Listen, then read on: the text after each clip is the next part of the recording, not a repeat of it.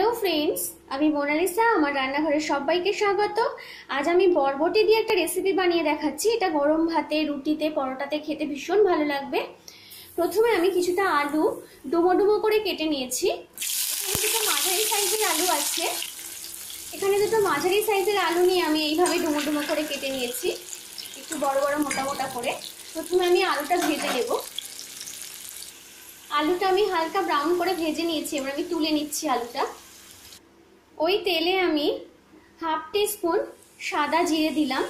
আমি মোট four table spoon তেল নিয়েছিলাম। নিয়ে আমি অল্প একটু হলুদ দিয়ে আলুটা প্রথমে ভেজে নিয়েছি, এবার আমি সাদা জিরে ফোড়ন দিলাম।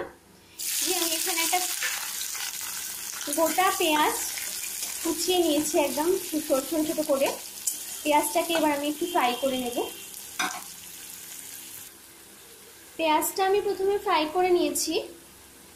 এবার একটু আমি একটা ছোট সাইজের টমেটো দিয়ে দিলাম, কুচিয়েছি। টমেটোটা টমেটোটাকে কুচিয়ে ভালো করে দিয়ে দিলাম। আমি টমেটোর থেকে সিডগুলো ছিল সব ফেলে দিয়েছি।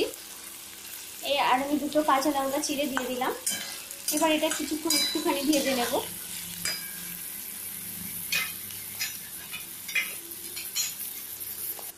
পেঁয়াজটা, টমেটোটা, লঙ্কাটা ভাজা ভাজা হয়ে গেছে। এবার এতে আমি half tablespoon sorry half teaspoon আমি কাশ্মীরি রেড চিলি পাউডার দিলাম। হাফ টি স্পুন হলুদ দিলাম। আর ওয়ান টেবিল স্পুন আদা আর রসুন বাটা দিলাম। আর আমি এখানে একদম অল্প একটু চিনি অ্যাড করলাম। চিনিটা অপশনাল আপনারা চাইলে নাও দিতে পারেন। এবার দিয়ে আমি ভালো করে এটাকে কষিয়ে নেব।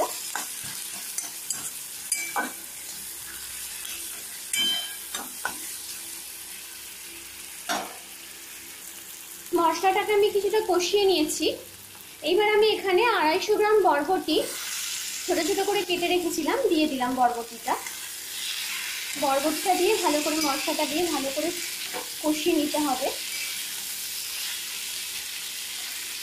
আপনারা ঢাকা দিয়ে দিয়ে রান্নাটা করবেন, তাহলে বরবটিটা একটু সেদ্ধ হয়ে যাবে। বরবটিটা দিয়ে আমি দু তিন মিনিট মতো কষিয়ে নিয়েছি। এবার আমি এতে হাফ কাপ মুসুরির ডাল ভিজিয়ে রেখেছিলাম। এক ঘণ্টা আগে আমি জলে ভিজিয়ে রেখেছি, এবার আমি জলটা ঝরিয়ে নিয়েছি, এবার আমি হাফ কাপ মুসুরির ডাল দিয়ে দিলাম। আর আমি এখানে ওয়ান টেবিল স্পুন নুন দিলাম। নুনটা একটু স্বাদ মতো অল্প করে দিতে হবে, কারণ রান্নাটা একদম মাখা মাখা হবে। আর আমি এখানে দিলাম, ভেজে রাখা আলুগুলো আমি এখানে দিয়ে দিলাম। এবার আমি ভালো করে কষিয়ে ঢাকা দিয়ে দিয়ে কষিয়ে নেব রান্নাটা।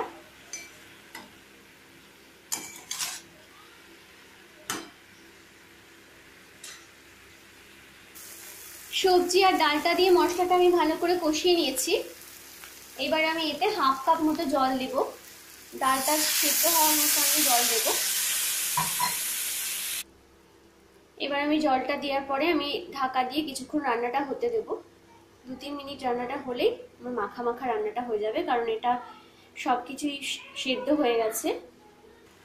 রান্নাটা হয়ে গেছে, একদম মাখা মাখা হয়েছে, দেখুন রান্নাটা, জলটা পুরো টেনে গেছে।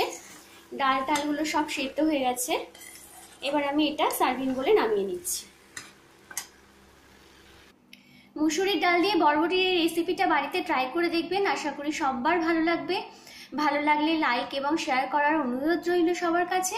আর যারা আমার চ্যানেলটা এখনও সাবস্ক্রাইব করেননি, অবশ্যই সাবস্ক্রাইব করে নেবেন। আজ তাহলে এই পর্যন্তই বন্ধুরা। Thank you friends